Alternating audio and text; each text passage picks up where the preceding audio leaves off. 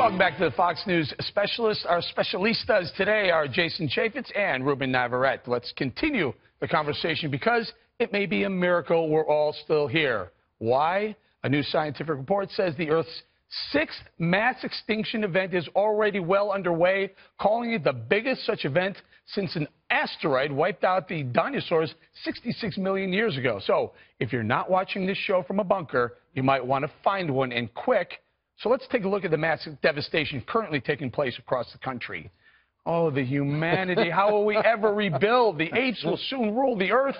Wait, hang on. Things are actually fine. We're all fine, which is more than what could be said for that scientific report. It says three quarters of all species on the planet could disappear in the coming centuries because if there's one thing people can do, it's predicting exactly what will happen centuries from now.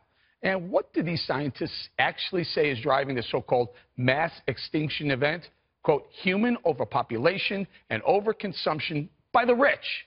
Of course, it should be all, we should all be out buying food and ammo right now. Or is this the most absurd piece of environmentalist garbage we've seen yet? Eboni, you okay? Are you going to run out and buy one of those? Let me make uh, sure everything. Doomsday bunkers. I think all is good. Um, They're pretty cool though, those bunkers. Those, I've actually seen a couple bunkers when I was in Israel. I saw some very cool bunkers. Um, but no, I mean. Look, I totally think that we can be as we should be as responsible uh, as we can be when it comes to our, our, planet. But this type of sensationalism, Eric, I mean, it just it, I think it undermines legitimate causes for sure. Plus, I love sixth mass extinction event well underway. I love overconsumption. It's one of my favorite things to do. Overconsume oh, of all the good things. Look, this study also said that the main problem or the main reason for it is it's overpopulated. We already have people writing op-eds saying, oh, to have fewer kids. There's too many people. I'm sorry, but come on. When you start saying something like that, I can't imagine someone having the decision between having or not having a child and saying, oh, but the baby's carbon footprint. Well, not I mean, to mention, not disgusting. to mention this, Kat, our generation, the millennials, we actually are not having kids very much at all. Uh, yeah, I haven't done really it. Bad. Yeah. No, neither one of us. We're 0 for 0. Let yeah. me bring Ruben, Ruben in. Do you think there's a chance this has something to do with being able to secure some money for funding of research of uh, overpopulation I think and there's a chance. I think there's a hint of that. I think that the climate control folks, is, they've developed their own religion around this. I'm interested in the fact that there are so many debates in America, issues we can debate. This is an issue where they won't debate, where there seems to be no debate, where they're trying to cut off the debate.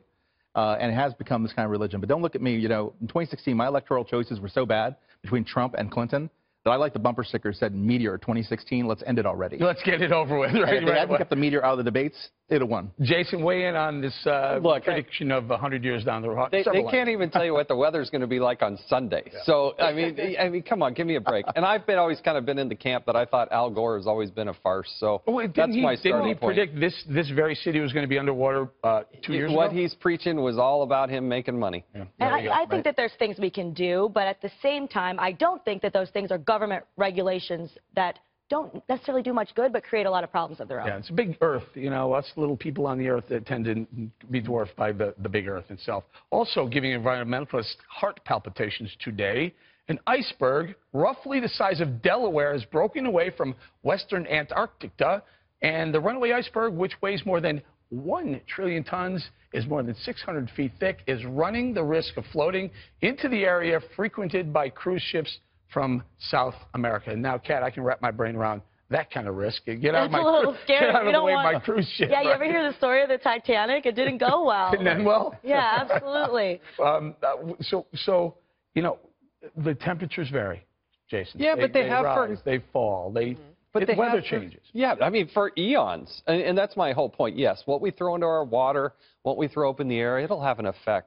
But throughout eons of time, when there were no people here, the weather was still changing. The Earth is moving. It's the weather hmm. changes every day. And, uh, and I mean, I'm not going to say that, that the, the planet may not be warming, but I'm not positive that we can we can definitely prove that it's, it's humans causing the warming, right. and we can do anything about it at this point. Right. Well, nothing's conclusive. I think in terms of what we can do about it, again, just operate in good faith. You know what I'm saying? I personally don't need to see a conclusion to know don't lit like simple stuff. You don't, don't run litter. Garbage. Yeah, you don't do stuff don't like throw that. garbage in the street. Mainly because we don't know, to your point, Eric, if it makes things better, but we certainly know that if we if we do it, it, it can make things worse, and we lose nothing by just being responsible. Now, Ruben, one of the main drivers of methane gas. Uh, uh, is is cow flatulence. Right. You know that what are we gonna kill off all the cows now? Is that what we're supposed to? Yeah, I come from farm country in Central California. That would not go over well. You know, And I like steak, so you no, like your steak, you like your milk, I you like your fillet. cheese. Yeah. Yeah, it makes it hard to uh, to do a dairy industry around that. But uh, you know, if you really want to kill the dairy industry, get rid of the cows or get rid of the immigrants who are working on the dairies. Ooh, Ruben went there, did don't he? know. Uh, final thought? I was gonna say maybe the dinosaurs would still be here if they'd only seen more Al Gore movies.